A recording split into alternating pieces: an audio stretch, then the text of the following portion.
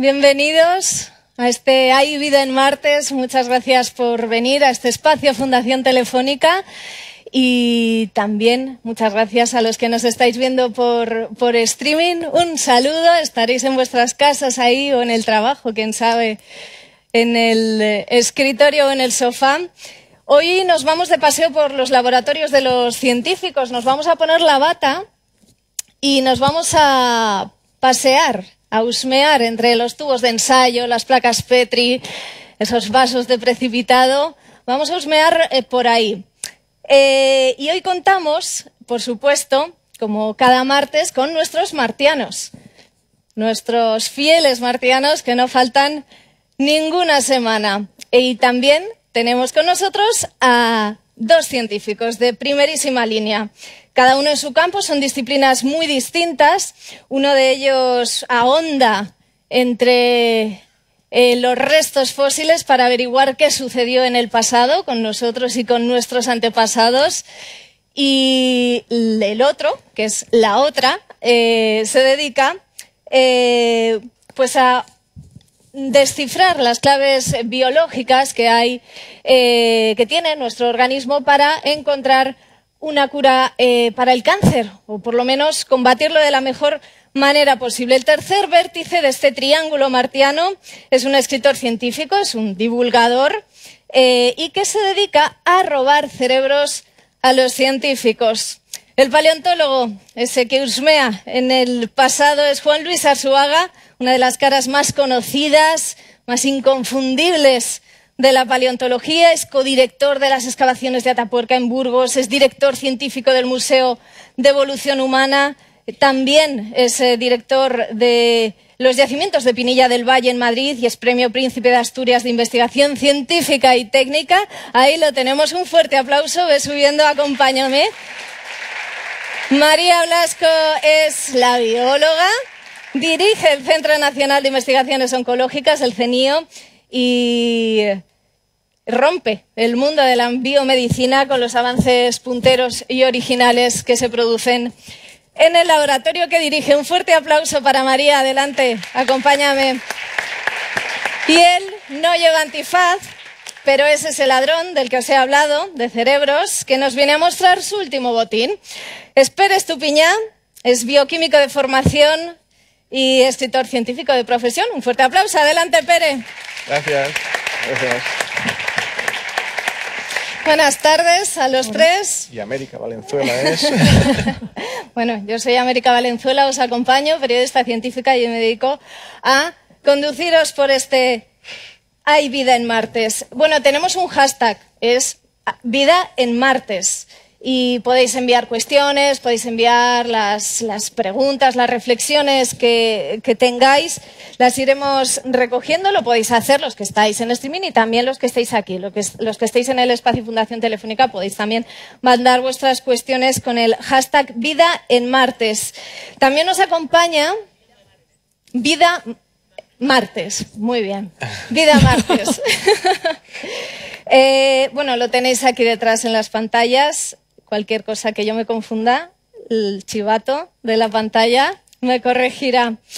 También nos acompaña un ilustrador, eh, también, como cada día en martes, es Enrique Flores y él está captando los gestos de cada uno de nuestros invitados y también eh, de los martianos y también del público de vosotros. Así que si estáis ahí repanchingados, mantener la compostura que os puede, os puede captar con su, con su trazo vivaz. Em, Vamos a abrir ya el coloquio, pero lo primero que quiero es que Pere nos enseñe su botín. Bueno, lo traigo yo, lo tengo yo. Es esta maravilla. A ver, el ladrón de cerebros. Comer cerezas con los ojos cerrados. con los ojos cerrados. Explícanos un poco, porque ya empezando por ahí. El comer cerezas con los ojos cerrados viene de una expresión eh, en ciencia que se llama cherry picking. Y yo había escrito un libro que se llama Ladrón de Cerebros, donde explicas de manera apasionada los últimos avances de la ciencia. Y esto es muy bonito, ¿no? Pero a medida que, vas avanzando en la profesión de periodismo científico, encuentras que, no es solo explicar ciencia, es explicar cómo se hace la ciencia. Qué es el método científico y ser un, un, poco crítico con ella. ¿no? Y cuando me planteaba explicar qué es la ciencia, explicar qué es la ciencia es relativamente fácil, ¿no? porque, porque es la aplicación del método científico y es decir, tú no tienes ideas, sino tienes hipótesis, intuiciones y las, las pones a prueba experimentalmente y, y las evalúas, ¿no? Y sacas unas conclusiones objetivas de, de estas evidencias. Pero el pensar científicamente tú no lo puedes decir a la gente que vaya haciendo experimentos por ahí, ¿no?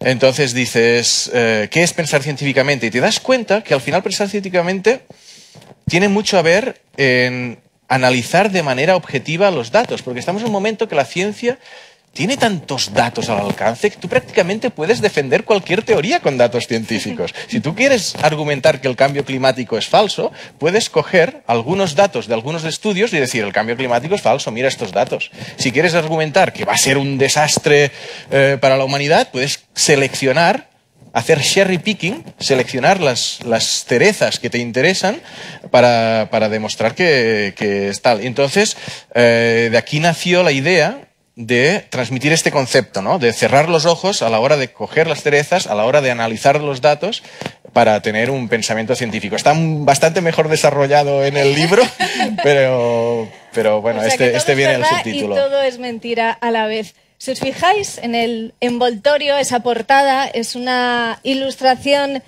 de Mikel Urmeneta, ex Kukuksumusu, y hoy Katuki Saguyaki. Más difícil de pronunciar no podía ser. Has colaborado con él en más de una ocasión, te ha hecho Sí. varias portadas. Lo tenemos con nosotros. Aquí está Miquel, que seguro que sabe decir este trabalenguas sin trabarse en ningún momento. A ver, lo voy a probar. Ex Kukushumusu y actualmente Katuki Saguyaki. ¿Y qué es Katuki Saguyaki? Katuki Saguyaki quiere decir carne de gato, manjar de ratón. Ajá. Y bueno, pues la verdad es que desde hace muchos años tengo amistad con Pere, también contigo, América, también con Juan Luis. María es la única con la que no he colaborado en alguna ocasión, o sea que habrá que hacer algo. Y, y la verdad que la portada pues eh, tiene relación con el anterior, bueno, con el primer libro de Pere, del ladrón de, eh, de cerebros, o sea, sale la mano del ladrón y el cerebro. Y en este caso, pues sale el, el, bol este de, de cerezas que Pere me explicó con detenimiento un poco lo que acaba de explicar. Yo al principio le entendí que lo que se trataba un poco en esta vida es el ir ciego por la vida y que de esa forma se puede ser mucho más objetivo. Pero, pero sí que es verdad que es, un, es un, una bonita frase, ¿no? Que hace referencia un poco a lo que decía Pere, que es muy fácil, ¿no? Con todos los datos que tenemos ahora hoy en día, el, bueno, la, bueno, de alguna manera la- las pocas probabilidades que igual tenemos de acertar, ¿no? En, dar una definición científica sobre algo que nos sucede o algo que queremos, que eh, hacer. De hecho, ahí si veis entre las cerezas, pues hay cerezas sonrientes, eh, otras que están llorando. eh, bueno, se supone que el ladrón eh, estará con los ojos cerrados y al probar la cereza, pues será, bueno, pues de alguna manera, pues auténticamente eh, libre de, de saber si esa cereza que está tomando, sin necesidad de leer datos o de ver si es la más madura o la más verde, pues es la más rica o no. El cerebro está con los ojos. El muy cerebro abiertos. está mirando de, de todo, porque en el fondo es uno de los cerebros que ha robado Pere a alguien, o sea que a él le dejamos ver. Pero bueno, la verdad es que siempre es una gozada el colaborar con científicos. La ciencia yo creo que, que necesita o siempre ha necesitado y ahora por lo menos se reconoce o todavía más de la imaginación, ¿no? Para seguir adelante. O sea, es importantísimo tener fantasía y, bueno, y, estar eh, siempre con la mente muy abierta porque, bueno, pues eh, cada cosa que sucede es una sorpresa. Y, y la sorpresa pues fue también pues el primer encargo de, de Pere, que siguió con el segundo y con esta última portada, que espero que no sea la última porque bueno, pues eh, Seguro- todo lo que toca que Pere no. pues se convierte en algo realmente interesante para la gente. De articiencia vamos a hablar luego y volveremos Venga. contigo. Muchas gracias, Miquel. A vosotros. Eh, Pere, es ya el tercer libro, ¿no? Sí. El tercer ladrón de cerebros, o por lo menos Eh. el tercer libro, y ahora toca el programa de televisión con el mismo nombre o por lo menos con el mismo espíritu, ¿no? Sí. Robar cerebros eh, en los laboratorios. Sé que el de María se lo ha robado. Luego Y el de Juan Luis hablaremos también. de ello. ¿Ya no, ¿no ves que ya no tiene? Luis. Lo he robado. Esos están tan callados todavía, ¿eh? No, pues eh, Cuéntanos. el, el ladrón de cerebros al final es un personaje, es un tipo entusiasta que, que yo le quería llamar el Robin Hood de la ciencia, en el sentido que robaba a los que tenían mucho para compartirlo en los que deseaban eh, conocer, ¿no? Y al final es un personaje que, que desde hace mucho tiempo pensamos que podía ser fácil de, de pasar a la pantalla y Tuvimos una primera experiencia en Ecuador el año pasado, muy bonita, de 13 episodios, y ahora con Televisión Española estamos preparando un programa que se va a llamar El Cazador de Cerebros, no El Ladrón de Cerebros. Y estaba previsto que empezara ya en abril, pero todavía no sabemos cuándo va a empezar. ¿Será un mayo o quizás un poco más adelante, bueno, en septiembre? O sea, que ya, ya, veremos. Abrimos el apetito hoy para, para empezar con fuerza a ver el, el programa cuando dentro de unas semanas y mientras también devoramos el libro. Tu intención con el libro, dices, es abrir la mente al lector, ¿no? A una manera de pensar científica, a un pensamiento Ah. crítico, a un pensamiento fundamentado, a un pensamiento eh, que cambia de opinión en función de las evidencias, ¿no? Eh, no de las creencias. Dices textualmente que una mente científica duda y que una mente cerrada, dogmática, cree. Sí, cuando a mí me, fastidia cuando si viene un astrólogo, por decir algo, me dice, abre tu mente, que tienes la mente muy cerrada. Digo, ábrela tú. No, yo tengo la mente abierta. Eres tú que estás dogmáticamente creyendo en algo y no quieres cambiar. Entonces yo creo que la mente cerrada es la que cree, no la que duda. ¿Vale? Una, una mente... em, Sí, sí, sí. Yo creo que el, científico en principio está más sujeto a cambiar de manera de, de pensar y esto es tener una mente más abierta. Pues, eh, Vosotros, que sois científicos, ¿cómo, cómo lo veis esto? Bueno, pues eh, totalmente de acuerdo. Yo creo que en la ciencia lo importante es dudar y cuestionar la, la, incluso las propias las cosas que, hacemos eh, y, que, y, que, encontramos y que nos gustaría creer.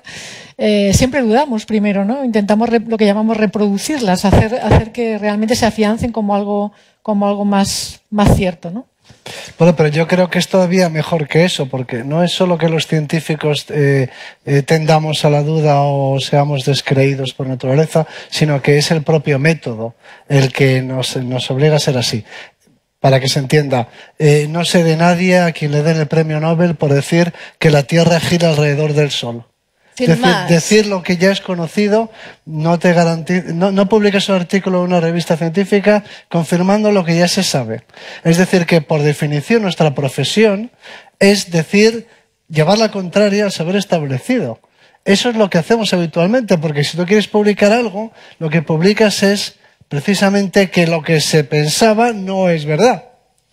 Si tú envías un artículo diciendo todo eso que se pensaba sobre este tema es cierto, pues no te lo publican. Así que tenemos un método que nos exige que contradigamos el saber establecido. El método nos obliga a decir lo contrario de lo que se piensa, porque a nadie le dan ningún premio por decir lo que ya se piensa. O sea que es que el método es en sí mismo eh, un método eh, eh, escéptico y, crítico, por definición. Es decir, que si tú mm, eh, descubres que, pues no lo sé, cualquier cosa impensable, eh, como por ejemplo que los continentes se mueven, cosa que a nadie se había ocurrido nunca, que los continentes se mueven, eso va en contra del pensamiento establecido en su época, es que eran estables. Entonces, el que descubrió que lo que todo el mundo pensaba era falso y que lo que él pensaba y solo él era lo cierto, es hoy una de las grandes figuras de la ciencia. Siempre son los rebeldes los que triunfan en la ciencia. Además, sobre todo cuando vas contra el sentido común, que es todavía más meritorio. Por supuesto. ¿Vale? Si, y, porque y, si nos remontamos todavía a, Copérnico, es, claro, es que lo lógico es pensar que la Tierra está quieta y el Sol va dando vueltas. Porque es lo que ven nuestros ojos, ¿no? Pero allí, mira, da vueltas. O que el sí, Big Bang se va o que, hay, o que hay unos seres tan pequeños que son invisibles, que no son visibles, que producen las enfermedades por ejemplo. Claro. Vosotros sois tan escépticos también en la vida doméstica, en la vida diaria, cuando os quitáis la bata. ¿Sois así de escépticos para todo? Bueno, yo, yo añadiendo un poco lo que se estaba diciendo, eh, creo que no siempre la ciencia es ir en contra de las cosas, sino que muchas veces es, es, descubrir cosas nuevas, porque hay muchísimo que no sabemos. Entonces yo creo que eso también es importante eh, resaltarlo. A mí lo que me gusta de la ciencia Sí, es que me encanta descubrir primero. cosas. No me interesa tanto contradecir lo que ya hay, sino descubrir cosas que no se saben. A mí me motiva ese espíritu de descubrimiento y yo creo que en mi vida cotidiana también lo traslado, ¿no? Y me encanta siempre descubrir nuevos artistas, nuevas películas, eh, nuevas personas, me, me encanta descubrir cosas. Descubridora y contradictor. Vamos a ver, no, no, porque en realidad lo que- la ciencia lo que busca, el, el objeto final de la ciencia es la búsqueda de explicaciones. Es decir, el científico parte de la base de que eh, el mundo, el mundo material que conocemos, está regido por leyes. Es decir, que hay unas leyes que son responsables, que produce, que son las causas de los fenómenos que observamos. Esa es la creencia, el punto de partida de un científico. El mundo tiene leyes. Eh, y entonces se trata de descubrir esas leyes, las que son responsables de, lo- de las cosas que pasan. Y eso vale tanto para las montañas, porque, porque existen montañas, como porque la gente enferma, porque la gente envejece, o porque la gente tiene los ojos azules, ¿no? Juan Luis, ya te están eh, Eh, bueno, más o menos. Yo no tengo ¿Qué te parece? ¿Te ves? Yo te veo clavadito, ¿eh? No me gusta mucho verme, pero bueno, pues será así, ¿no? Es lo que nos pasa a todos con las fotos, que decimos, pero estoy horrible. Y todos los que están alrededor piensan, pues estás clavado. Nada, luego le pasas el filtro belleza y ya te quedas Y, fantástico. y en, lo, en lo de la vida cotidiana, y, y es que, claro, todos no sé si pensamos que el resto de gente piensa como nosotros, ¿no? Porque nos parece lo más normal. Pero yo sí que tengo un pensamiento a veces que cuando contrasto con otras personas dices, eh, no, no pensamos estas cosas. Por ejemplo, a mí si me duele la panza, empiezo a pensar que he comido, eh, hacer como, como un análisis así, no, no sé si científico, pero muy analítico de por qué hoy me, me duele y ayer no. Y entonces cuando lo he comentado con algunas personas, dicen, no, a mí cuando me duele la panza me duele y no me empiezo a plantear el por qué. ¿Sabes? Y dices, ahí la típica día que tienes, yo qué sé, la panza hinchada, y dices, a ver, ¿será esto, será otro? Y haces como una comparativa. Y dices, sí que buscar estos mecanismos de por qué pasan las cosas en la vida cotidiana, yo por lo menos sí que lo intento. O sea, que tú sí que te llevas ese afán también descubridor, o más bien analítico, a casa. Yo no sé si hay científicos en la sala o... eh, vamos a ver, ¿podéis levantar la mano? Los que estáis también en Twitter, ¿podéis levantar la mano en Twitter? No hay ni un científico en la sala, no me lo puedo creer. ah, bueno, pero sois cuatro, ¿eh? Cinco, pero... Uy, uy, uy, uy, uy, uy. Tenéis mucho que predicar. Medir No. vuestras palabras. bueno, María, eh, ahora volvemos contigo, Pere. En tu laboratorio investigáis sobre envejecimiento, sobre cómo combatir el, el cáncer, buscando las claves en los mecanismos que hacen que una célula envejezca. Eh, sé que hay palabras eh, clave, ¿no? Como telómeros, telomerasa, célula inmortal. Explícanoslo tú. Sí, bueno, pues una de mis motivaciones para ser científica es entender por qué la gente enferma, envejece y en última instancia muere. Eh, yo soy inconformista con esto. No, no sé por qué tenemos que decaer hasta enfermar y morir en última instancia. De hecho, un físico que se llama Richard Feynman pues dice que no hay ninguna ley en la física realmente que justifique o que diga que es imposible luchar contra esta enfermedad universal, que es la causa de las enfermedades, que es el envejecimiento. Y entonces es lo que ha motivado mi, mi carrera investigadora, intentar eh, entender por qué se produce el cáncer, que no es sino que otra enfermedad más asociada a este proceso de, envejecimiento y acumulación del daño, y intentar entenderlo desde el punto de vista molecular. Yo soy una bióloga molecular, una bioquímica, y lo que yo quiero entender es que, qué cosas moleculares ocurren y son responsables de que envejezcamos, enfermamos y en última instancia pues nos tengamos que morir. Y mi trabajo va enfocado a intentar evitar esto, ¿no? Y es lo que ha sido mi motivación. Y, eh, o sea, que ¿cuándo vamos a vivir 200 años? Pues no te puedo responder a esa pregunta, pero, pero yo creo que sí que estamos descubriendo algo que hace 20 años era un, yo creo que un misterio todavía. Ahora, gracias pues, a la investigación en genética y biología molecular, sabemos bastante, sabemos desentrañar por qué, por qué envejecemos. Sabemos una, una parte por lo menos y esto nos está permitiendo pues, abordar las enfermedades desde otro punto de vista. Eh, vosotros os centráis, eh, tú, tu laboratorio, tu equipo de investigación, en, en cáncer. Eh, ¿Los telómeros o la- y la telomerasa qué son? Cuéntanos. Bueno, pues aquí hay una conexión interesante entre, entre envejecimiento y, y cáncer.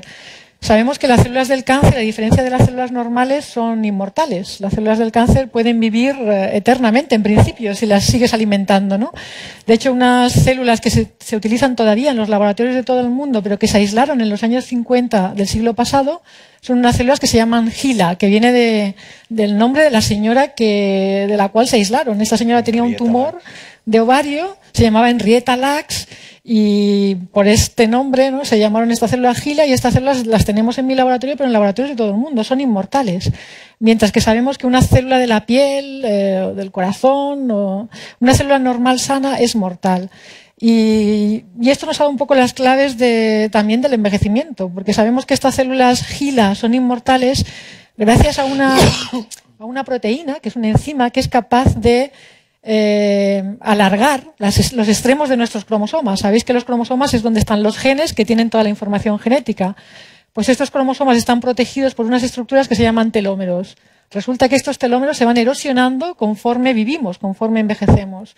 Y la telomerasa es la clave para que se mantengan siempre jóvenes. Y el cáncer ha descubierto esta telomerasa de manera perversa para conseguir la inmortalidad. Lo que estamos haciendo nosotros es también aprovecharnos de la telomerasa, pero ya de una manera no perversa, sino controlada y con la intención, pues de alargar la, la vida lo máximo posible a, a, las personas o de combatir enfermedades asociadas con el envejecimiento. El envejecimiento es la causa de las enfermedades.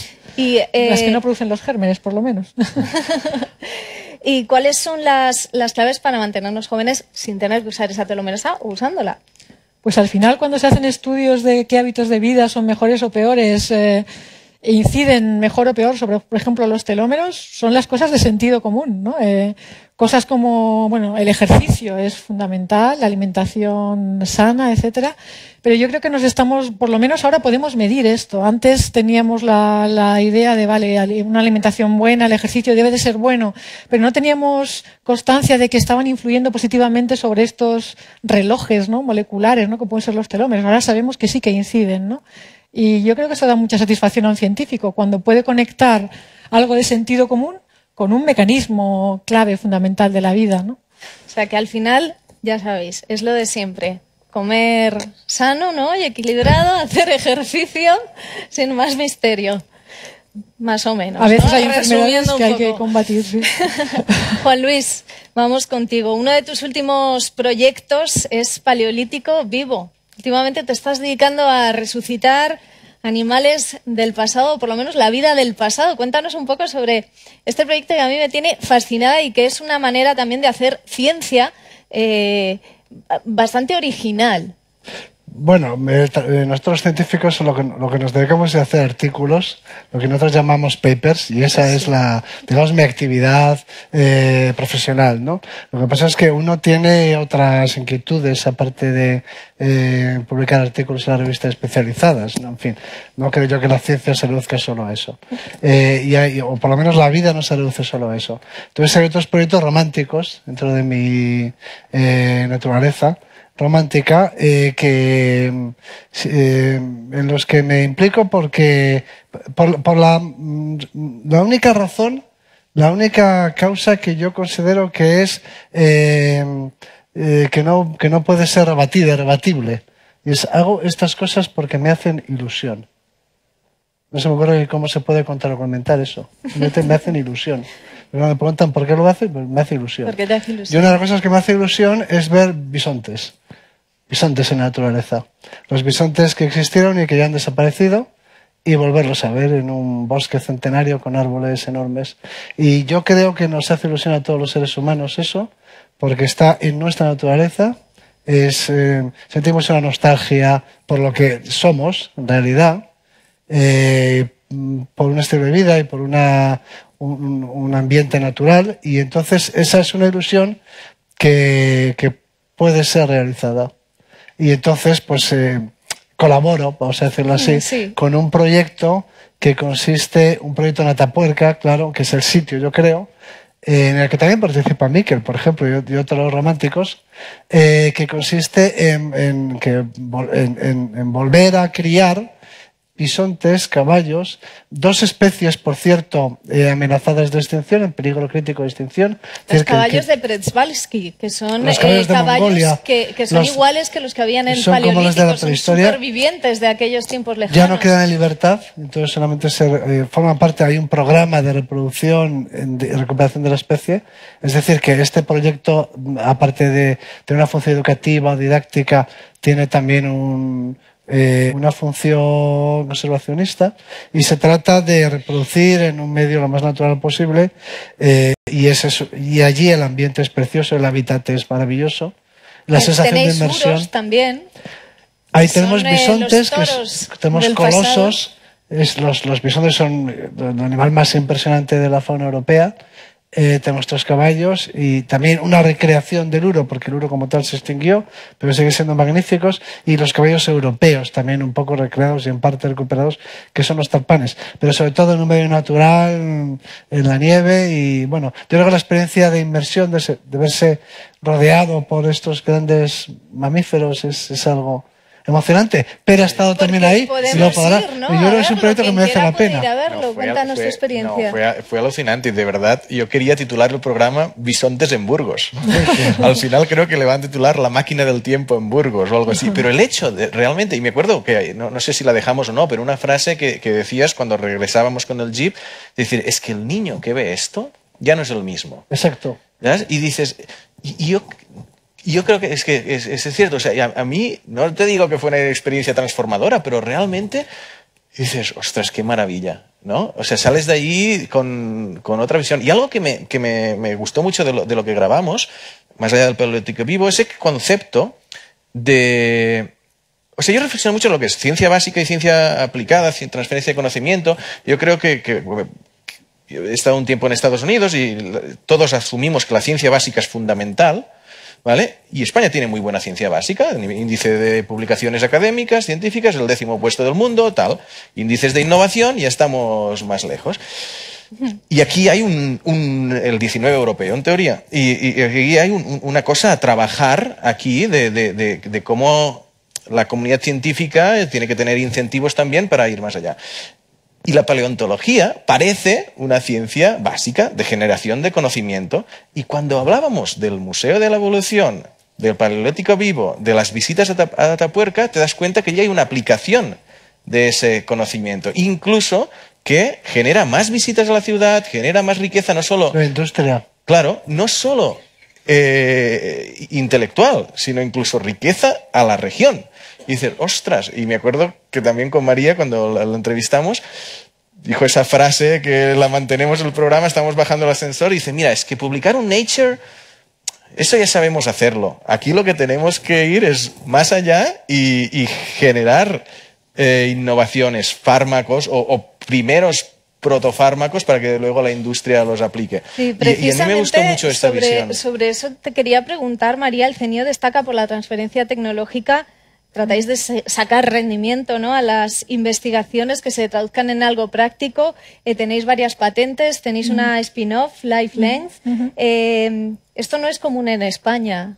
No, no es común y no te creas que tampoco ha sido fácil, yeah. porque hay, muchas veces hay que convencer también a, a, nuestras autoridades de que es importante que la innovación sea algo que se fomente, ¿no? Y que se que se, que se proteja también ¿no? eh, eh, estas cosas. En el CENIO tenemos además algo muy, inusual, tenemos un programa de desarrollo de fármacos, es decir, dentro de un centro de investigación básica tenemos químicos médicos que hacen los, las fases iniciales, iniciales de desarrollo de fármacos que después nosotros conseguimos licenciar a las empresas farmacéuticas. Con esto lo que hacemos es acortar una cosa que se conoce como el Valle de la Muerte, que es el tiempo que se tarda entre el que el investigador tiene una idea y una empresa farmacéutica hace realmente el fármaco. Estos son aproximadamente unos 15-20 años y en el CENIO, gracias a que hacemos de puente, hacemos este puente, pues conseguimos acortarlo eh, muchísimo. Entonces pensamos que es parte de nuestra misión, no solo hacer nuevos descubrimientos, sino acelerar el que ese descubrimiento llegue a un paciente con cáncer. Eh, por cierto, el ratoncito triple ¿No podría venderse como mascota también? Cuéntanos quién es. Bueno, es un ratón que vive un 40% de, lo normal y bueno, a mí ya me gustaría que mis gatos vivieran un 40% de lo normal, por ejemplo, ¿no?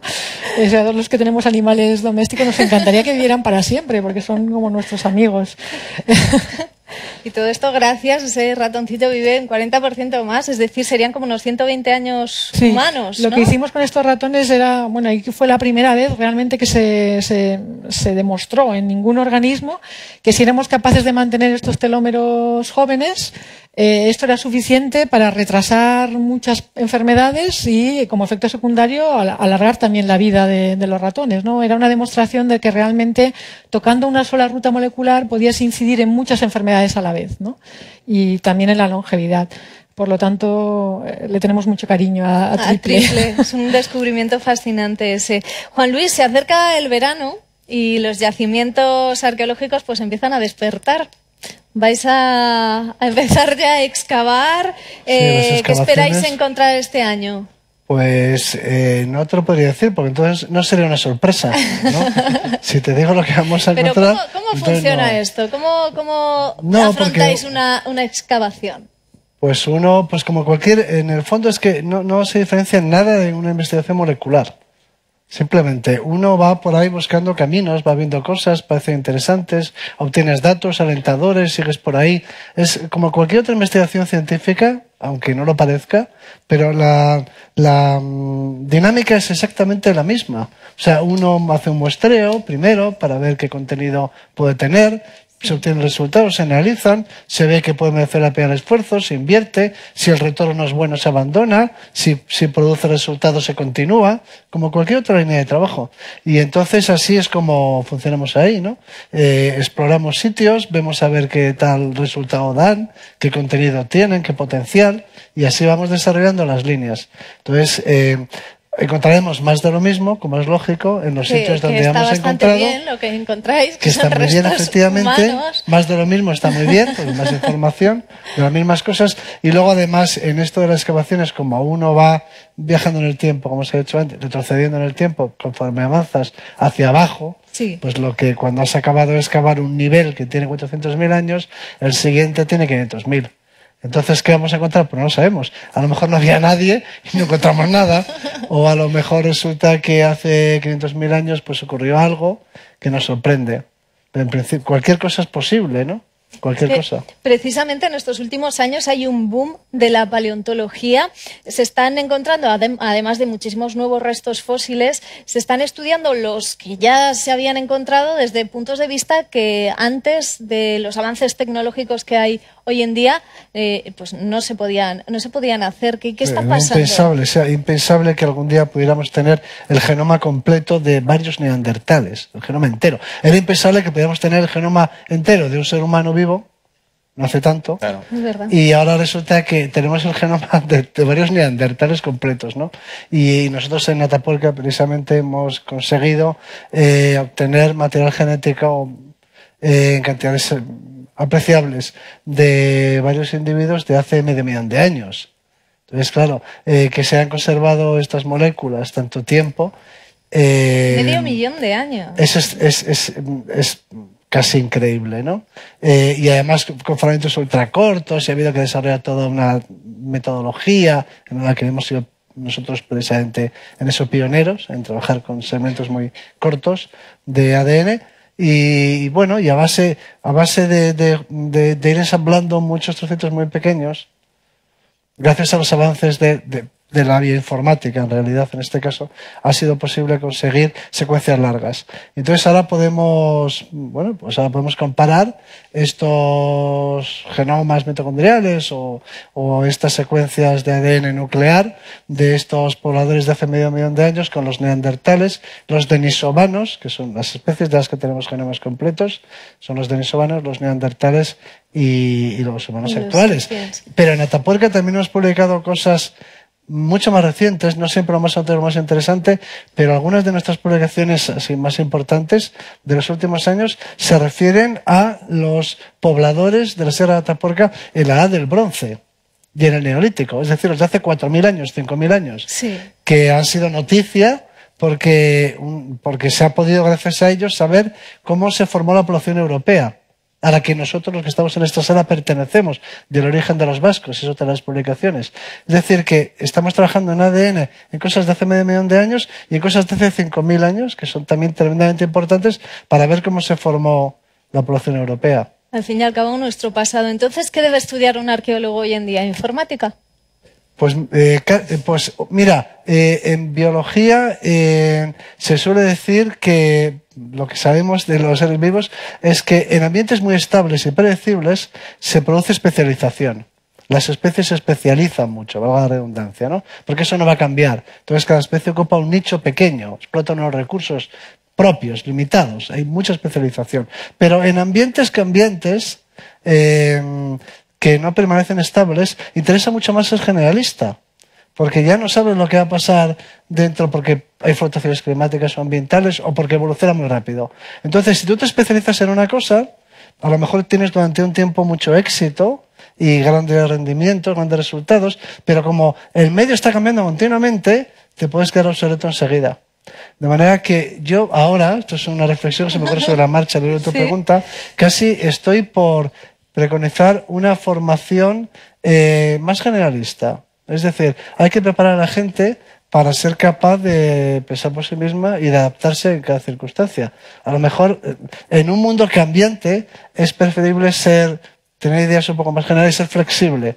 Que en los mundos estables, en la Edad Media, por ejemplo, la gente estaba muy especializada. Tú eras zapatero, o eras herrero, o herrador, o, soldado o obispo, ¿no? O sea, no, eh, tienes que especializarte mucho, o hilandera o, la, o agricultor la profesión que tuvieras. Yo creo que en el mundo actual y en el futuro tan cambiante, tan rápidamente cambiante, lo mejor es tener la capacidad de, o sea, ganar en adaptabilidad. Eso fue, ¿no? Lo que hizo que el, que el sapiens. Entonces, eh, al arqueólogo del futuro o tuviera, paleontólogo del futuro, sobre sobre otras especies, más o menos. Eso es lo que tengo entendido. Tú ahí sí que eres el súper experto, así que no me voy a meter. Pero y tú os conocéis desde hace tiempo. Sé que habéis ido, lo recoges en el libro, a la cueva de del castillo, ¿no? A ver pinturas rupestres de hace 35.000 años, de las más antiguas eh, que, existen en, Europa.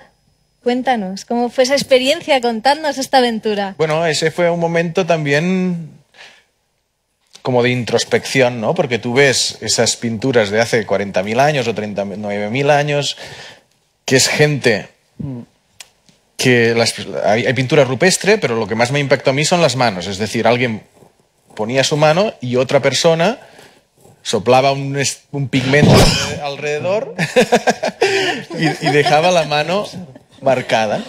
Pero además, muy adentro de la cueva, con algún tipo de intención que, que, no sabemos descifrar porque no les podemos preguntar y que de hecho Juan Luis fue súper honesto cuando al final de la entrevista dijo, ¿y qué debían estar pensando? Y en lugar de inventarse algo como haría la, mayoría de personas, dice, no lo sabremos. ¿Sabes? Porque el científico responde así. O sea, no, no, lo podemos saber, no podemos hacer un experimento para saber qué pensaban. Pero lo, lo, que pasa es que tú ves esa mano y dices, es como la tuya. No es una mano como más gruesa o más pequeña o más diferente, es exactamente la tuya, porque son los, primeros Homo sapiens, bueno, quizás podrían ser unos neandertales, no se sabe, pero en principio serían los primeros Homo sapiens que llegaron allá. Y, la, mente que se requería para, querer dejar esa, marca allí, pues era una mente sofisticada que no debía ser muy diferente de, la nuestra. En la información que tenía, sí, pero en, la base no. No, es, es muy, fue muy bonito. Incluso llegar a Tapuerca también, cuando estás delante de esa pared, que dices, por aquí debajo hay tesoros. Pero claro, van, van escarbando poquito a poquito porque no pueden allí, venga, una pala porque se lo cargarían. Te dices, es que aquí dentro hay algún tesoro y dice, igual tardará 10 años, 15 años en salir y es una cosa como de impaciencia, ¿no? lo comentamos un poco. decir, no, es, es, y hablamos de esto, pero si habláramos de otros campos de la ciencia, de neurociencia, biología molecular, cosmología, que es un poco lo que en el libro Ah, voy a hablar de mi libro, recojo de muchos ámbitos del conocimiento diferentes que esta búsqueda en lo desconocido, ¿sabes? Esta, esta... O sea, tú cuando miras al cielo solo ves puntos blancos con los ojos. Ves estrellas que brillan, ya está. Y gracias a la ciencia y la tecnología te permite ver planetas extrasolares, quasars, entender que se está acelerando. La humanidad, sin esa ciencia y tecnología, habría visto lo que ha visto siempre, puntos blancos, estrellas, lo que ves con tus ojos, la ciencia amplía tus sentidos, te permite ver mucho más allá. Y yo creo que es, es eso lo que la hace ah, la, la- la- la mayor fuente de conocimiento que tenemos ahora. O sea, al final la ciencia es lo que buscamos es conocimiento. Y el conocimiento, saber cómo funciona nuestro cuerpo, nos permite eh, hacer mejores medicinas, saber cómo funciona la mente de las personas nos permite gestionar mejor una empresa, saber cómo funciona eh, el tráfico nos permite saber dónde tenemos que poner los semáforos. Pero la ciencia es la gran fuente de conocimiento que tenemos ahora. y Merece la pena aprovecharla. Pere, tú en eh, tu libro te diriges muchas veces a las mujeres directamente. ¿Sí? Sí. eh, Es el inconsciente. Por ejemplo, si un día tu novio te dice, ¿no? En lugar de a lo mejor pues el más genérico, si tu pareja te dice, esto es intencionado, eh, No. No.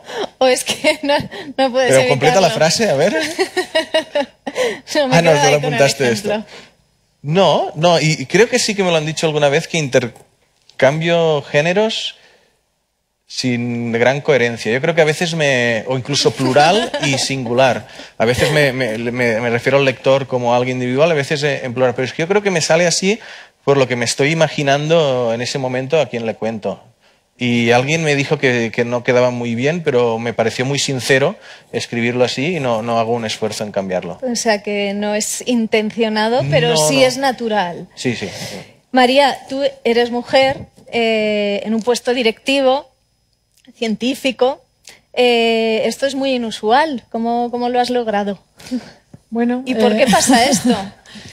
En Bueno, es una, pregunta, es una pregunta compleja. ¿eh? Eh, hay realmente, en- en- como en casi todas las profesiones, en la ciencia pasa lo mismo. A nivel de formación, hasta los niveles más altos de formación, justo antes de dar el paso de la, de la independencia o de ser responsable de un equipo, etcétera, hay casi más mujeres que, que hombres. O sea, las mujeres somos muy, tenemos mucho interés en la ciencia, estamos muy bien preparadas y somos buenísimas. Eh, lo que falla es el querer dar este salto, ¿no? Y esto yo creo que es eh, por muchos motivos, pero lo que se está viendo ahora es que no es tan fácil, seguramente para las mujeres como para los hombres. Hay una cosa que se llaman sesgos inconscientes, que los estamos descubriendo ahora y los tenemos tanto hombres como mujeres. Tendremos siempre a valorar peor a las mujeres, es un, es un estereotipo que está teniendo este efecto en nuestros cerebros. Y tenemos que de alguna manera ser, ser conscientes de esto, de estos estereotipos inconscientes, pues para luchar contra ellos. ¿no? Eh, se hizo un experimento muy famoso, y me gusta porque es un experimento, que se llama el, el experimento de John o Jennifer, que es que se cogió exactamente, es el mismo currículum, se le puso un nombre de mujer, Jennifer, o un nombre de hombre, John, y una especie de jurado evaluaba cuál era el mejor currículum y le ofrecía un trabajo eh, con un salario, etcétera. Y tanto hombres como mujeres, eh, consistentemente y significativamente, es decir, que había una diferencia estadísticamente significativa, eh, daban el trabajo con más probabilidad al, currículum que tenía nombre de hombre, le ofrecían un salario mayor y le ofrecían eh, más lo que llaman los americanos mentoring, más apoyo a lo largo de la carrera. Es decir, no solo te contratamos, sino que te vamos a apoyar para que llegues hasta arriba de todo. Y esto pasaba menos con las mujeres. ¿no? Este es un ejemplo de por qué, quizá, ¿no? que pequeñas diferencias de apoyo a lo largo del tiempo pueden generar grandes diferencias al final. Jurado compuesto por hombres y mujeres, ¿no? Las sí, mujeres estos- también los- sentimos los- como esa son misma- sesgos inconscientes, los tenemos tanto hombres como mujeres. Lo que tenemos que hacer es ser conscientes de ellos. Y si somos conscientes, pues intentaremos evitarlos. ¿no? Juan Luis, no hay muchas paleontólogas mujeres. sí, Yo sí, estoy sí, sí. recordando y me viene Mary hay. Leakey, pero era por su marido Las también, hay, Luis. Leakey. Hicieron grandísimos descubrimientos juntos en la garganta del Dubái, en Tanzania, pero no me la viene historia, ninguna más. A ver, la historia de la ciencia. Eh, no, pero no en el presente. No en las generaciones actuales. Eh, eh, yo, en fin, eh, haciendo un análisis sociológico, me parece que hay menos desigualdad en el mundo de la función pública que en el mundo de la empresa privada. Eh, por ejemplo, en las oposiciones a juez, pongo por caso, pues no sé cómo saldrán, pero por ejemplo las del MIR en medicina, creo que hay más mujeres que las aprueban que hombres ahora mismo porque hay más mujeres que hacen medicina. Quiero decir que el mundo de la función pública tiene un horario reglado, yo pienso que es más igualitario. Eh, el mundo de la empresa me parece menos igualitario. Donde hay oposiciones, me imagino que las diferencias son menores. Pero bueno, eso es cuestión de, análisis, de analizarlo para ver si se cumple o no. Eh, en el mundo de la, en, en el mundo de la, de la prehistoria, podríamos decir, en generaciones modernas yo sinceramente no veo que haya diferencias entre unos y otros en los puestos de, en fin, de director de excavación y demás. Eh, en este momento. En este, o sea, tú, hay paleontólogas eh, destacadas, mujeres. Sí, claro, sí, sí. Danos. ah, Bueno, pues Yo- no lo sé, pero la gente no sí, va a bueno, conocer. espera, no digas ninguno no sé. porque luego se te olvida otra y no sé qué.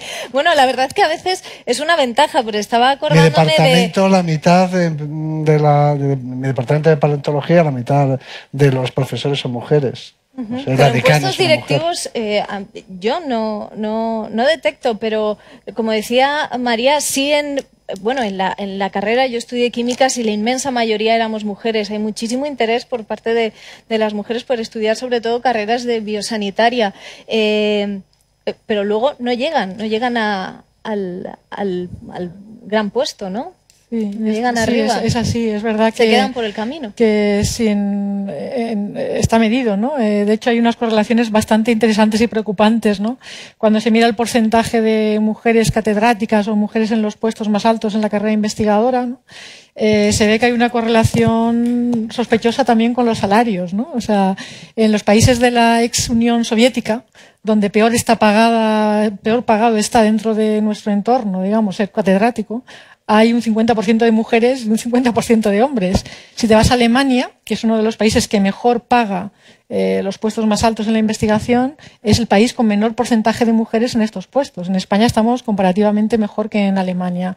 Por lo tanto, yo creo que hay una, sí que hay una, no sé si la palabra correcta es lucha, pero sí que hay eh, una competición por conseguir estos puestos más altos, que muchas veces no se consiguen por oposición, eh, que son ah, cosas que ocurren más a puerta cerrada y ahí las mujeres lo tenemos más difícil, ¿no? Entonces eh, yo creo que habrá igualdad real cuando haya el mismo número de mujeres que hombres arriba. Entonces sí que habrá igualdad.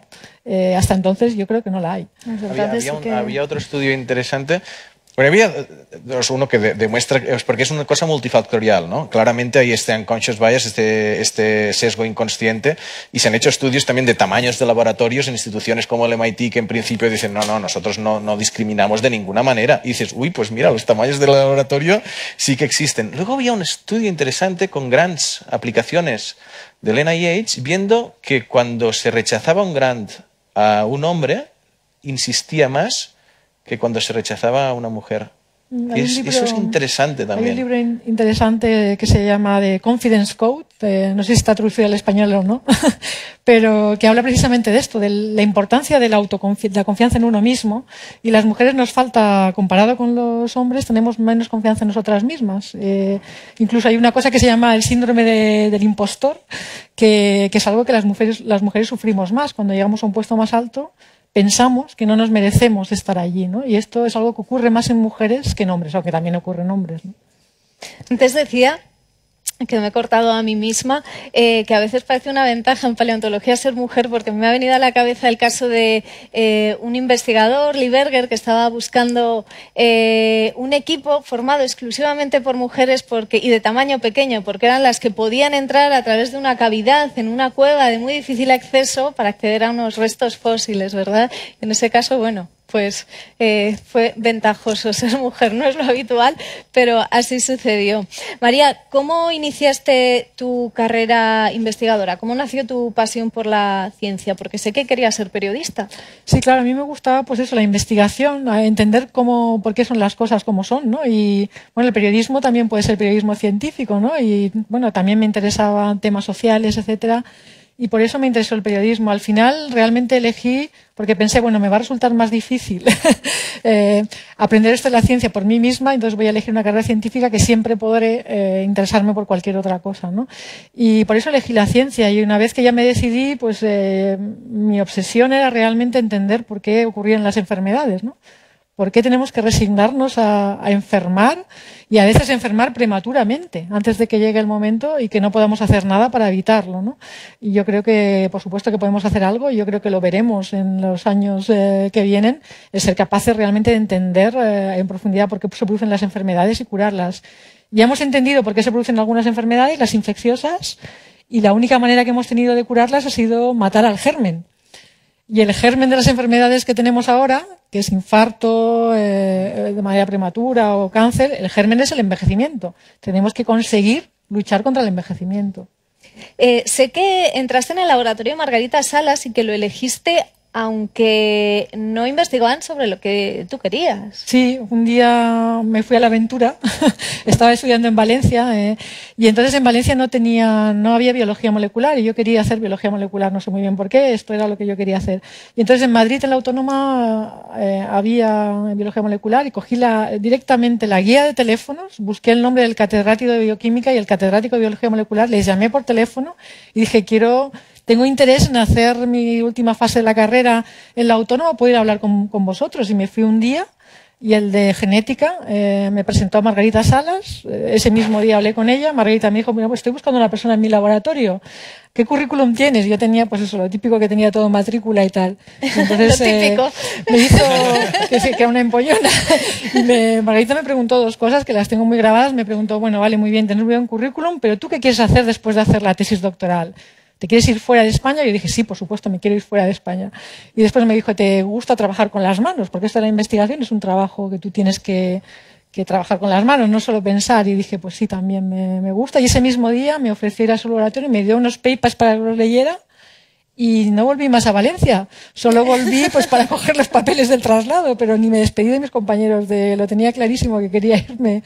Eh, a donde se trabaja sí, las y después, ¿por qué, no, ¿por qué no elegí un grupo que trabajaba en envejecimiento? Realmente este catedrático, que le estaría agradecida toda mi vida, me presentó también a grupos que trabajaban en, en envejecimiento, pero cuando hablé con esta persona me dijo, mira, yo te cojo encantada, pero sería más importante que elijas un grupo que sea un grupo reconocido internacionalmente, que sea un grupo muy bueno, donde tú aprendas a ser científica, ¿no? Y después ya te puedes dedicar a lo que tú quieras. Y entonces me dijo, el mejor grupo de aquí es el de Margarita Salas. Y dije, bueno, pues allá que Ahí aprenderás a, ser científica. Eh, Juan Luis, tú, ¿cómo, ¿cómo iniciaste tu carrera investigadora? ¿Cómo aprendiste a ser científico? Pues mira, eh, yo voy a poner un ejemplo de algo que me ocurrió a mí y que fue determinante y que tiene que ver con la situación de los jóvenes investigadores en España. Eh, cuando yo terminé la carrera salieron unas becas, yo creo que fue el primer año, unas becas para hacer una tesis doctoral, unas becas del ministerio.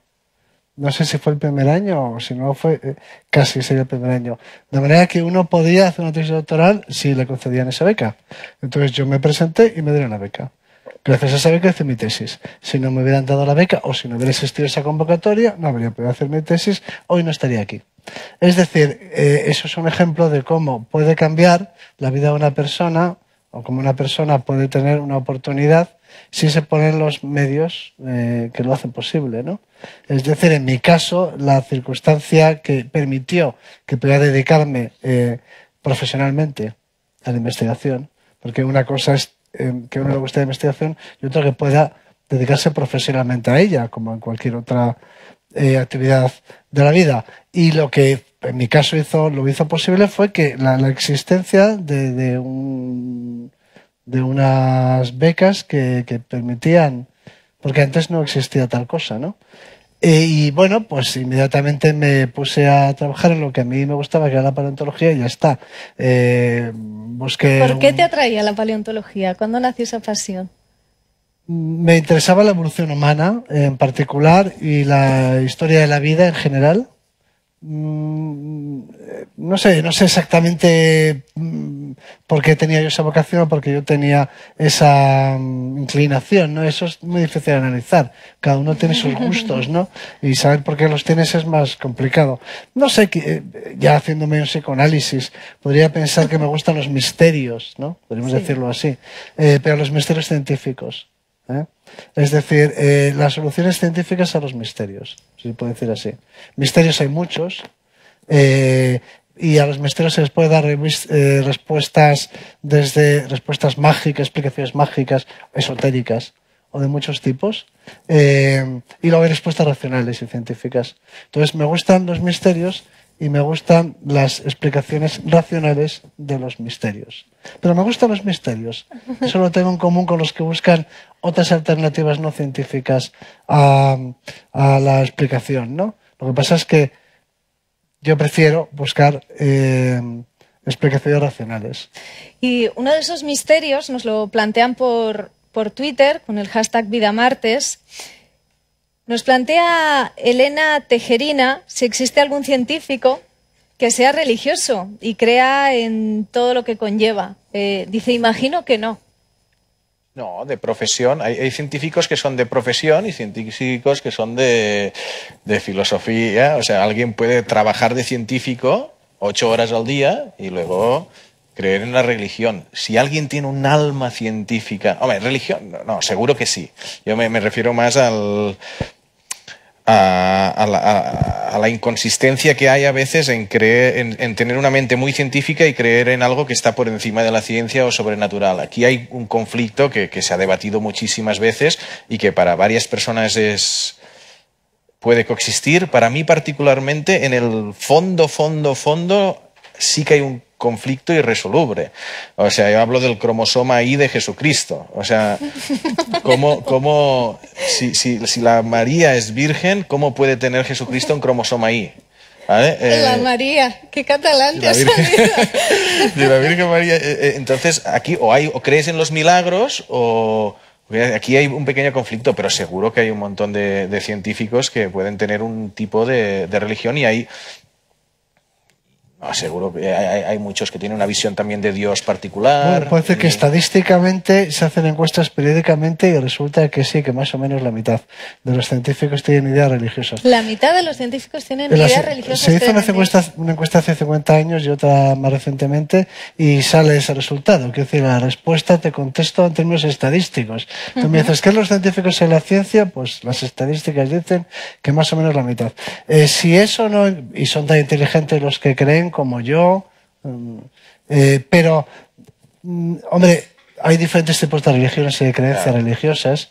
Eh, dudo que haya científicos que crean que uno puede, no sé, curarse de un cáncer rezando y cosas así, ¿no? No en esa línea, pero hay unas diferencias entre teísmo y deísmo que son cosas distintas.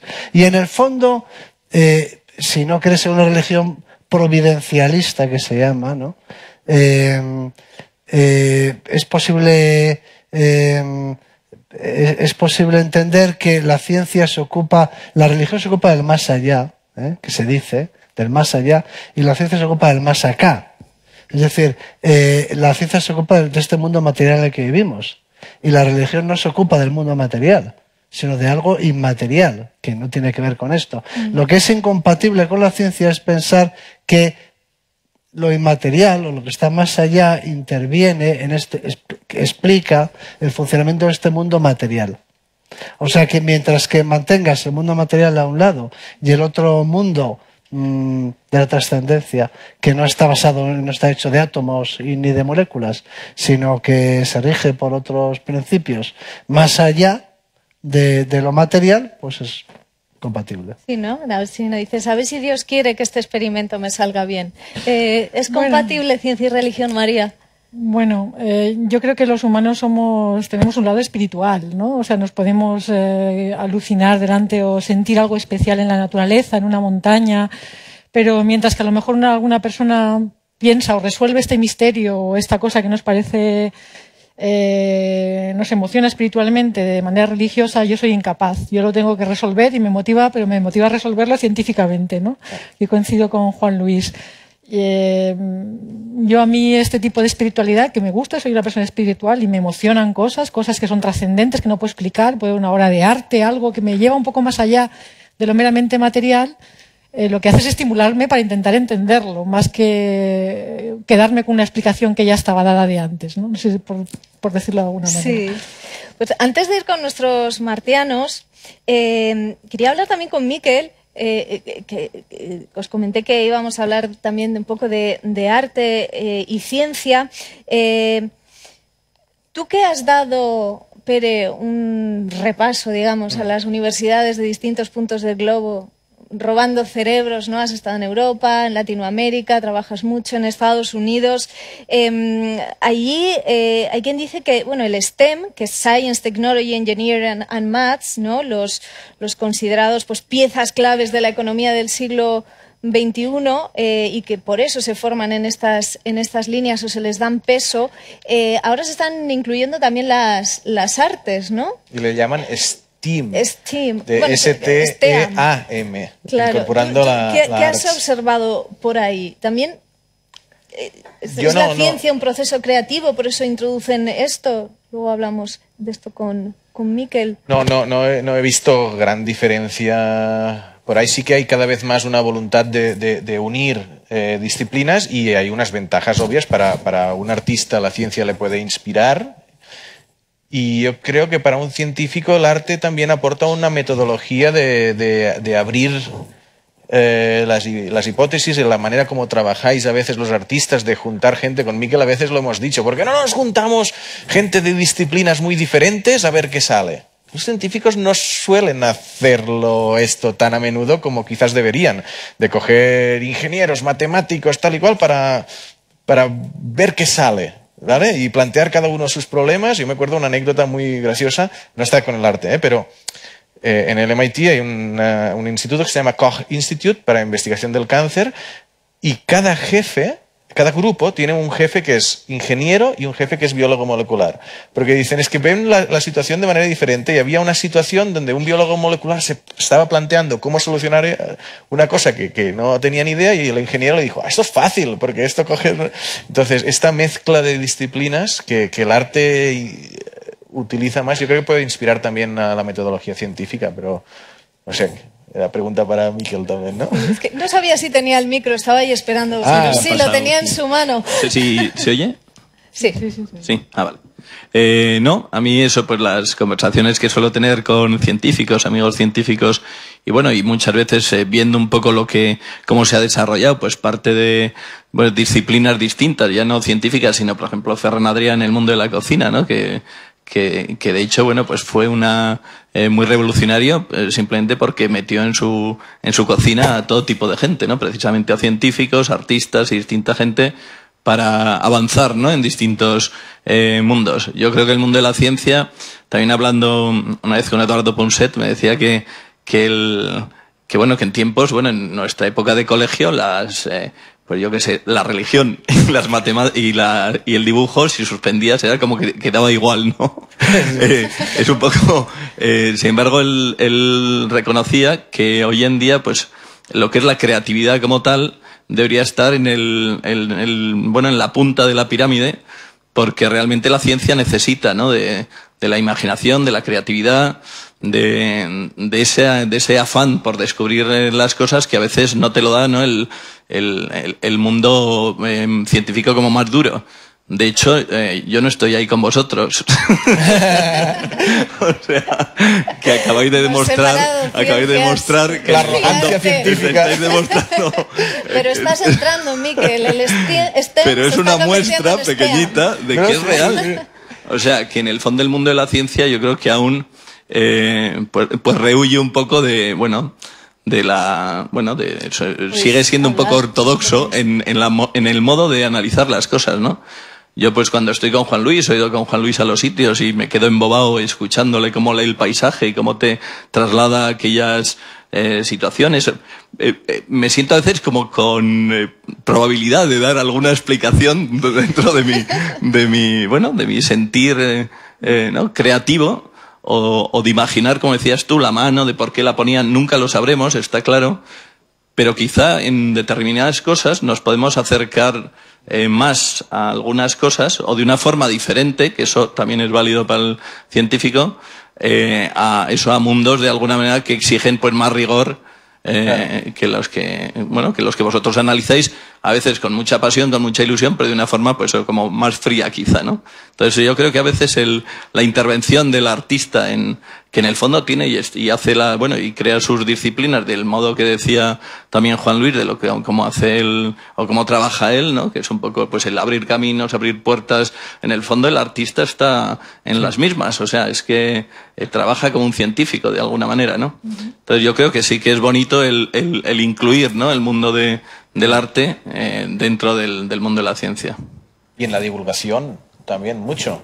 O sea, Y en la en divulgación, divulgación bueno, claro. es, es imprescindible. En cómo, claro. cómo comunicar esta ciencia. Yo sé que a veces las diferencias ciencia-arte porque en la fase de hipótesis, esta creatividad, yo creo que el científico sí que la, la, busca. Y hay una gran diferencia cuando el científico puede decir, este resultado está mal o está bien, y que en arte nunca decís esta obra está mal o está bien. Bueno, bueno también, decir, me gusta o no me gusta, pero hay esa... Bueno, ahí sí, es, es, un poco también lo que hablabais antes de que la ciencia realmente, lo interesante, nunca te van a publicar un artículo que ya está hecho, ¿no? En arte realmente también tiene ese, esa profundidad que tiene el arte que lo que ya está hecho ya, eh, ya no vale, ¿no? O sea, realmente lo, lo o es malo, o es malo simplemente por repetitivo, ¿no? Entonces, bueno, a ese nivel está bien. Sí, yo creo que a nivel de mm, metodológico, aunque, eh, aunque hay diferencias, obviamente también hay muchas similitudes, que ya algunas se han mencionado. Los dos estamos intentando escarbar en un espacio oscuro, ¿no? intentando sacar luz de aquí, ¿no? Eh, yo creo que nos inspiran cosas parecidas, cosas, preguntas trascendentes, ¿no? Eh, el arte da unas respuestas a estas preguntas trascendentes, nosotros damos otras, la religión da otras. Eh, entonces yo creo que es que hay muchos parecidos, aparte de la creatividad. O sea, los científicos es que si no somos creativos no hacemos nada. Y yo muchas veces digo que para ser científico tienes que ser capaz de mirar las cosas de reojo, no las puedes mirar de frente, tienes que ser capaz de, mirarlas de una manera muy, muy, muy creativa, si no, no terminas viendo lo que tienes delante de las narices, ¿no? Entonces, eh, yo creo que hay cosas parecidas hay en el método y también en, lo, en, las preguntas. O sea, queremos dar respuestas a preguntas que son preguntas humanas, trascendentes, ¿no? Por ejemplo, antes pensaba, no, no tiene que ver mucho con el arte, pero mientras hablabais de los currículums de Johnny Jennifer. y Jennifer y viniendo a cuento del libro de Pérez, que no habría que elegir los, los currículums con los ojos cerrados. ¿no? bueno, de hecho, en, los países anglosajones se hace, la gente no pone su, su, nombre a veces o el sexo tampoco. Debería ser así. Bueno, vamos a dar voz a nuestros martianos. Eh, Natalia, Fernando, Andrea y Camino. Eh, bienvenidos un martes más. El micro es vuestro. Pues acabáis de mencionar la labor de divulgación de un científico también, que es muy importante. Entonces, me gustaría saber eh, para todos y a lo mejor también para ver que está más metido en el mundo de los libros o de los programas de televisión y tal, que mm, cuáles son los grandes rasgos eh, o características que pueden definir a una buena obra divulgativa para que haga transmitir lo que quiere transmitir el científico al ciudadano común. Eh, no sé si me explico. Sí, sí, sí, sí. Lo que me ha puesto cara de estar pensando, a ver.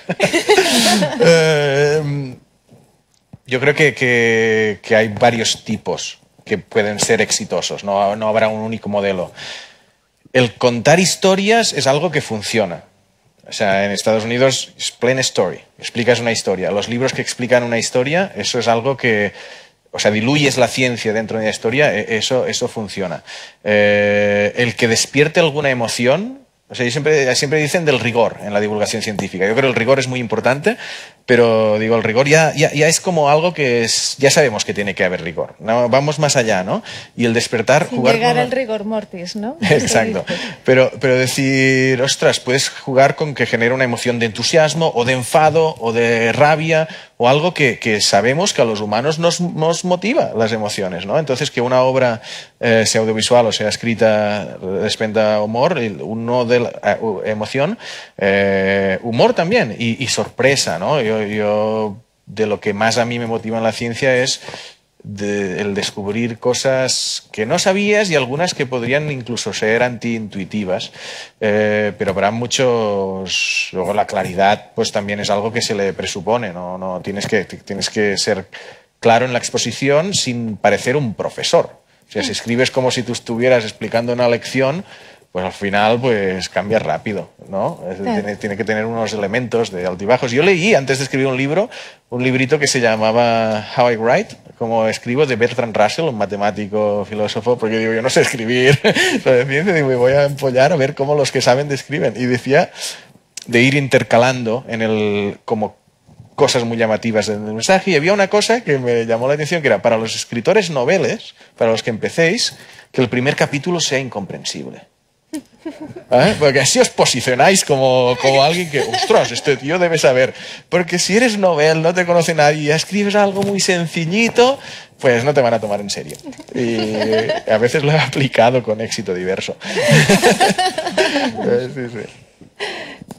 Eh, sí, mi pregunta más o menos sobre el ámbito del arte y de la ciencia. ¿Cómo pensáis que si el, bueno, el cine, al hacer películas que tratan temas de ciencia, como por ejemplo Marte, eh, etcétera, la de Gravity, tal, y qué pasaría si la información no acaba siendo totalmente cierta? Porque puede que eso confundirá a mucha gente, al mucho público. Si el cine es, es muy importante para la divulgación de la ciencia. Gracias. Bueno, una película de ficción no es un documental. Yo no soy, con los años me he vuelto muy tolerante en materia del rigor científico de las películas, pero las películas de ficción lo que pretenden es contar una historia, simplemente. Si no, es otro género. Es el género documental que también requiere talento y originalidad. A la pregunta anterior de qué hace falta para ser un buen divulgador, la respuesta es la misma que para ser un buen dibujante talento y originalidad. Si no, eres vulgar.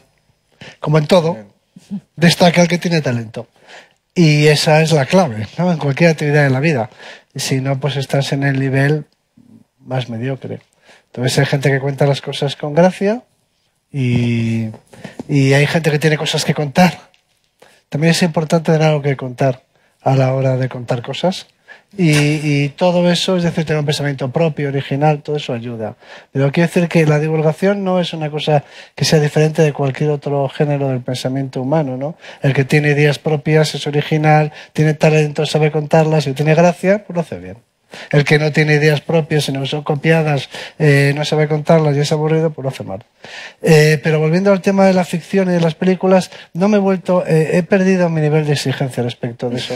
Y si me lo permites, te contaré una anécdota que tiene que ver con un tema directo, que tiene relación directa con mi trabajo, que es una película que se llama En busca del fuego, que los jóvenes no habréis visto, salvo que os lo hayan pasado, de Jean-Jacques Annaud, que está basada en una novela de principios del siglo XX. Eh, curiosamente, una novela que es muy fiel al pensamiento científico de su época. Lo que pasa es que el pensamiento científico de su época era equivocado y entonces la, la novela ahora nos parece eh, errónea. ¿no? Y, y no hace una película que os invito a ver porque está muy bien, como todo lo que hace Jean-Jacques Annaud, y, y, es un despropósito desde el punto de vista científico, un despropósito absoluto. Curiosamente, ya digo que la novela en la que estaba basada eh, eh, seguía liter, eh, literalmente el pensamiento científico de la época, que ahora también nos parece un despropósito. Bien, el caso es que eh, lo invitamos en Yacano a un ciclo de, mm, de conferencias en una universidad acerca de la prehistoria en el cine curiosamente. Y Annaud eh, presentó su película. Hizo, tuvo la amabilidad de, es un gran director de cine, tuvo la amabilidad de, de, de, de, aceptar nuestra invitación y vino a presentarla. Los alumnos que estaban en esa fase crítica de su desarrollo, eh, cuando en el, en el foro que se abrió después de la proyección, empezaron a señalar los errores científicos de la película, que a veces yo mismo utilizo en clase para, para hablar de, de, de, la prehistoria, ¿no? Y Jean-Jacques no asistía pacientemente a esa catarata de críticas. eh, intentó explicar que su intención era contar una historia, nos contó una anécdota, y perdón que me extienda tanto, pero Jean-Jacques no fue a hablar con la experta en fuego de una institución francesa, también especialista en fuego en la prehistoria, la cual le dijo que él no podía hacer esa película sobre el fuego, y Jean Chacano le preguntó por qué no, y él dijo por qué no, eh, porque usted no debe hacer una película sobre el fuego en la prehistoria. Y Jean Chacano le preguntó, ¿pero qué pasa? ¿Que es suyo el fuego o algo? Su propiedad. Eh, total, que ante las críticas que hacían los alumnos, Jean Chacano se paró y dijo, esto no lo había contado nunca, es una primicia. Este momento dijo, vale, está bien. Imaginemos que esta historia no sucede en el planeta Tierra sucede en un planeta de otra galaxia. Pero la historia es buena o no? es buena, ¿no? Bueno, pues esto ocurre en, otro, en otra galaxia. Entonces, efectivamente, la historia es buena.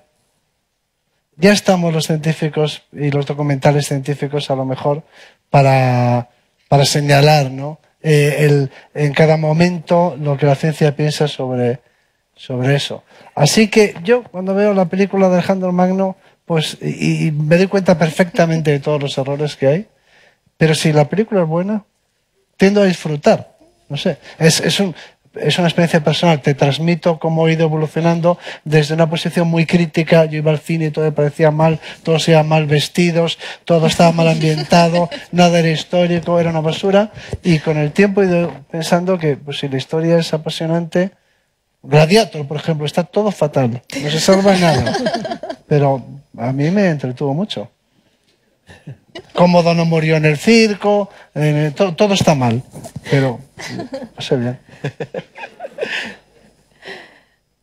Eh, yo eh, un poco, pues en función de lo que ya habéis contado, de que para divulgar se necesita pues talento, tener, eh, que contar. Yo quería preguntaros, en vuestra opinión, ¿cuál es el mejor medio para, para contar esa historia, para divulgar la ciencia, pues desde el cine que ya hemos comentado, o escrito y no ponerle imagen a eso al receptor y que se lo imagine, o bueno, contad. Yo voy a, voy a intervenir primero porque voy a ser muy breve. Pero si divulgar la ciencia es lo que hacen tus profesores en el instituto, ¿no? Lo que hace cualquier maestro, cualquier profesor en cualquier aula de cualquier centro educativo. Eso se hace en divulgación científica. Pero vosotros pensáis que profesores. ese es el, el mejor método, porque, a ver, Si ese No sé, profesor tiene magia. ¿Vosotros cu- cuál, es, eh, cuál tiene vocación científica? ¿Hay alguno de vosotros con vocación científica? No, no hay. A lo mejor no lo están haciendo bien. a eso mismo me refiero. No, yo creo que es- a, a mí es una pregunta que, que yo me la planteo muy en serio hasta el punto de que entre colegas divulgadores científicos nos acuso de estar haciendo divulgación acientífica, en el sentido de que no sabemos qué funciona mejor y peor. Es decir, cuando la FECIT da ayudas para hacer diferentes proyectos de divulgación científica, tiene que haber una evaluación después para ver cuáles tienen mayor impacto en la sociedad, para saber por lo menos eh, qué áreas, si tenemos el objetivo de X, eh, funciona mejor. En, el, las instituciones del Banco Mundial el Banco Interamericano de Desarrollo que luchan contra la pobreza, en cada proyecto que hacen de educación, de agua y saneamiento, de, lo que sea, hacen evaluaciones para ver si funcionan o no y si la tienen que hacer. Entonces, esta es la respuesta más dura a tu pregunta de decir, yo creo que sí que la comunidad de divulgadores científicos si quiere continuar mejorando su labor, tiene que ir evaluando qué funciona más y qué funciona menos. Después, sobre métodos, así de manera más intuitiva, que no es científica, te podría decir que, bueno, en principio la, la- televisión te permite llegar a un público mucho más amplio, pero, ostras, a mí me resulta un poco insatisfactoria a nivel de contenido. pero el profesor de químicas no hace divulgación científica cuando va a clase y explica Sí, la química. claro, claro, claro. Ese es el primer divulgador. El de químicas y el de matemáticas y el de biología y el de geología. Ese es el primero que te introduce en el mundo de la ciencia. A veces cuando hablamos de divulgación científica, a lo mejor es que nos estamos refiriendo a los adultos. Sí, ¿no? Sí. Porque lo que no podemos negar es que el primer, la primera introducción al mundo de la ciencia lo hace el maestro. ¿O no? sí, claro, claro. Sí, pero yo creo que es diferente. Una cosa es lo que hace el maestro, es que te enseña, ¿no? Eh, y otra cosa es divulgar a la sociedad eh, lo que es la ciencia y para qué vale la ciencia. Yo creo que esto es importantísimo y creo que todavía no- es una batalla por ganar. O sea, si la propia sociedad no defiende eh, la ciencia y el trabajo de los científicos, nunca se va, a ser algo que va a ser una prioridad tampoco para nuestros políticos. O sea, yo creo que precisamente en la divulgación está la clave de que la ciencia no sea siempre lo primero en que recortan eh, cuando hay que hacer recortes. ¿no? Yo creo que es muy importante transmitir para qué vale la ciencia para, para mejorar la sociedad. Es algo que es en beneficio de todos y sobre todo pues, de, la, de la sociedad. Y eso no está pasando, sí que, sí que está fallando ese primer eslabón. ¿Cómo, cómo? El de- Estaba- no, no, no esperaba la pregunta, estaba todo reflexionando. Estabas, estabas robando algo el cerebro. Te han robado a ti. Eh, no, que digo que sí que está fallando ese primer eslabón o ese eslabón del el profesor, que ya no sería divulgación, sino que sería educación, o el de eh, los periodistas de ciencia o los mismos científicos, que yo creo que sí que está mejorando, que cada vez eh, los científicos transmiten muchísimo más a, a la sociedad cuál es la importancia de sus investigaciones y las explican de una manera sencilla y son mucho más colaborativos con los periodistas en comparación con hace unos años en los que erais muy crípticos y muy cerrados los científicos y, y ahora sí hay más colaboración y esto eh, desemboca en lo que tú explicas, María, en que la- si la sociedad entiende para qué sirve la ciencia, cuáles son los beneficios que van a percibir de, de estas investigaciones, la defenderán y lucharán por ello y mm, empujarán ¿no? a, los científicos para, uy, a los científicos, a los políticos para que inviertan en, en- en ciencia, en investigación y en, y en desarrollo. O sea que, no sé, yo creo que todavía hay, hay mucho que hacer. Eh, precisamente mi pregunta va sobre educación también. A ver, en el sistema educativo que tenemos ahora, si eliges ciencias sociales o letras en vez de, de ciencias puras, yo no he vuelto a dar una asignatura de ciencias tipo biología desde hace unos tres años. Ahora mismo, yo entiendo de dónde viene nuestro pensamiento por asignaturas como filosofía, pero yo apenas entiendo de dónde venimos nosotros y cuando se habla de ciencia, lo máximo que puedo entender son libros tipo divulgación, porque lo explican de una forma menos eh, rígida, menos profesional. Y sinceramente creo que hay algo aquí cambiar, ¿no? porque En mi época no era así. O sea, nosotros sí estudiábamos biología hasta, o sea, el momento en el que aquello lo dejabas a un lado y había una ruptura entre ciencias y letras, eh, era mucho más adelante. Eh, ¿Qué edad tienes? cumplo 18 este año y ya a la universidad el año que Y viene. hace tres años que no das biología.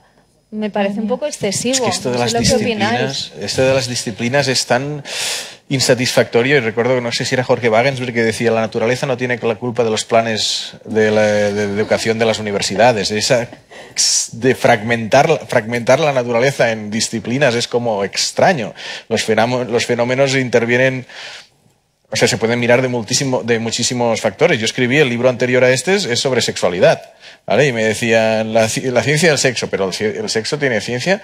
El sexo es, es el sexo y tu sexo lo puedes mirar desde muchas perspectivas, desde la biología evolucionista, desde la fisiología de, de los genitales, desde la endocrinología de las hormonas, desde la neurociencia que ocurre en el cerebro, desde la sociología, y de- desde, o sea, el sexo es algo como muchas otras cosas, eh, multidimensional multi, y, y- y- y no es una disciplina, sexología. Sexología es, es, es una, una parte académica del estudio, pero, pero la manera de, de entenderlo interviene en un montón de disciplinas a la vez.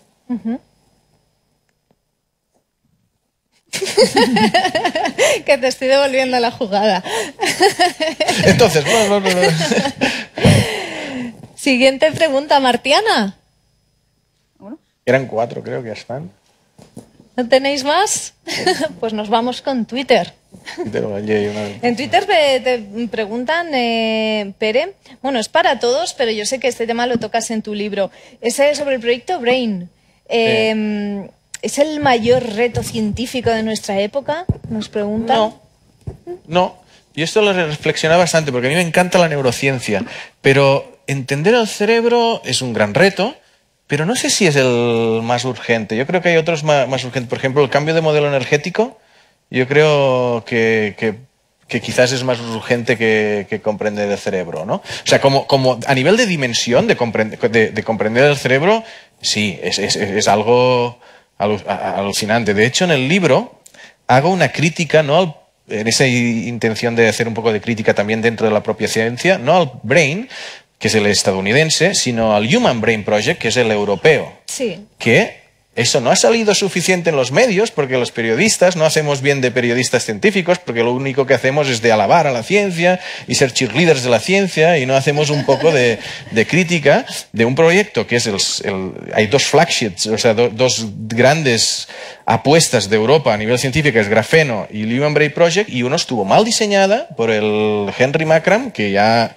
eh, se ha retirado y se están invirtiendo un montón de dinero que se está quitando a otros proyectos y que no está funcionando bien y ahora se está revaluando. Entonces yo creo que aquí hay una, parte crítica importante. Pero el Brain, que es, eh, además hay un español, Rafa Yuste, que está detrás de la, de la concepción de esta idea de medir no solo imágenes del cerebro, sino actividad. Tú cuando haces una, una- un escáner del cerebro, haces como fotos, ¿vale? Y cuando haces el conectome ves las, la- las conexiones neuronales, pero la idea del brain es medir la actividad, hacer vídeos en lugar de fotografías, ver cómo pasa, y eso ahora cuesta mucho, es desarrollar tecnologías para hacer esto posible, que se pueda medir la actividad de- de- del cerebro humano y es clarísimamente un gran reto, pero yo no, sé si ahora mismo diría que, es el mayor reto. Quizás a nivel intelectual sí, pero a nivel práctico pondría antes el cambio de modelo eh, energético. Tenemos otra pregunta tuitera con el hashtag Vida Martes, eh, que creo que está muy bien para, para cerrar esta, este martes magnífico, esta tarde de martes magnífica que hemos pasado. Y es, ¿cuál es el mayor logro científico actual para cada uno de vosotros? Nos lo vuelve a preguntar Helen Tejerina. Juan Luis. De la historia, yo no lo sé si actual, el mayor logro científico de la historia. Nos Pues, pregunta actual. pero actual que es de este último año. No es que no he entendido muy bien la pregunta. a esto está bien visto porque la ciencia va despacio. De las cosas que se han publicado recientemente, es lo que preguntan. El reto actual. que- Ah, reto, reto. Sí, Ah, no, creí que he entendido descubrimiento, perdona, perdona. Logro. logro. Logro. Logro, logro. Entonces sí tenías tu razón. He dicho yo reto. Pues no lo sé. Estáis Eh, atentos, ¿eh? Logro es Que otra historia. callados, digo, Pues están yo dormidos, sé, pero no. Las ondas gravitatorias, está, a ver, ¿qué se me ocurre? Eh, A ver, en tu campo. En, en el campo de la patología, pues sí, los descubrimientos de los... Hay bastantes en los últimos años, la verdad. Vamos a poner los nuestros para empezar, ¿no? Claro. Por delante, que no están mal, francamente. Eh, no lo sé, en los últimos 100 años sí, prácticamente no sabemos nada de la evolución humana. Y los últimos 50 años incluso, pues el, el- el- el- cambio ha sido tan, tan grande. Yo diría que en, no sé, de- eh, una vez que se descubrió, el siglo XXI es el, es el siglo de la, de la biología, básicamente. Eh, igual que los siglos anteriores fueron los siglos de la física y de la química, eh, el siglo es el de la biotecnología. El siglo XXI es el siglo de la biotecnología. Entonces podríamos dejarlo ahí. Mm, otros siglos tuvieron otras especialidades, ahora vamos a ver qué da de sí la conocimiento de la biología en aplicaciones tecnológicas y en aplicaciones eh, de salud y en más cosas, ¿no? Pero sí, yo sí diría que, que ahora vamos a vivir el gran siglo de la biología. Bueno, Bajo tu eh, punto de yo, vista, María. yo coincido con lo que ha dicho Juan Luis. eh, y si tuviera que destacar un descubrimiento, no es actual, pero yo creo que es uno de los descubrimientos que ha iniciado toda esta gran revolución de la biología. Sin duda, para mí es el descubrimiento de, de la molécula de la vida, de cómo se transmite la vida, que es cuando se descubrió, se propuso cuál era la estructura del, del ADN, eh, que es donde están los genes, ¿no? Eso ha permitido, pues, pues una revolución biot- biotecnológica, ¿no?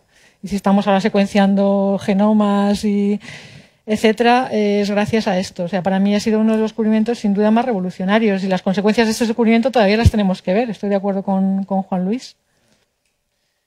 Yo como actual, parece que me copio, pero estaba pensando también, eh, por notoriedad, la- las ondas gravitacionales parece de, de lo último, de los últimos meses parece lo, lo- más. Pero también hay algo justo en física, en cosmología, que sí que hay grandes descubrimientos. El Higgs, porque aparecen de golpe. Y en biología es muy progresivo. La inmunoterapia es algo que, que que, empezó hace 20 años o 25 años. Y es ahora cuando los ensayos clínicos están demostrando que funciona. Y esto parece, dices, ostras, ahora es el... eh, Pero bueno, es que es algo que lleva 20 años. El, el- el logro es quizás confirmarlo, pero es, es que en biología va todo tan... pero además es, es gracioso cuando... Y eso, por ejemplo, me pasó cuando publicaron Nardi, el, el Ardipithecus, Sí. que dices, Estaba mira, el gran descubrimiento... descubrió, estaba yo ahí cuando se Ah, descubrió. pero cuando lo publicaron y lo habían descubierto hacía un montón de Estaba años. yo en el año es verdad. 94, estaba yo en la excavación. En el 94 lo descubrieron, pero se publicó en el yo. 2000 y pico y dices, mira, acaban de descubrir, ¿no? Si lo, hace 10 años que ya lo tenían. Es cierto. Eso se retrasó mucho, se retrasó mucho. Como sí, periodista, que coges el paper y dices, a ver, de estos fósiles de cuándo eran que han hecho el gran descubrimiento y empiezas a mirar y dices, pero si esto lo desenterraron hace 10 años casi. sí, sí. Bueno, vemos que al final lo que toca más al ciudadano eh, y lo que toca también a vosotros los científicos, eh, Pere como escritor eh, científico, que al fin y al cabo sois ciudadanos, es la salud. Ambos, o sea, los tres habéis, habéis mencionado un, un logro científico relacionado con, con- con algo que luego va a mejorar la, la salud y la calidad de vida de, de, de nosotros. Eh, así que al final, bueno, los científicos ya lo habéis visto hoy, son, son humanos y no son tan inalcanzables. Muchísimas gracias por haber pasado este martes con nosotros. Como podéis ver, hay mucha vida en martes. Eh, muchas gracias por haber venido a este espacio Fundación Telefónica. Un saludo a los que nos veis por streaming. Muchas gracias a nuestros martianos por plantear esas preguntas que siempre nos revolucionan la cabeza. Así que un fuerte aplauso.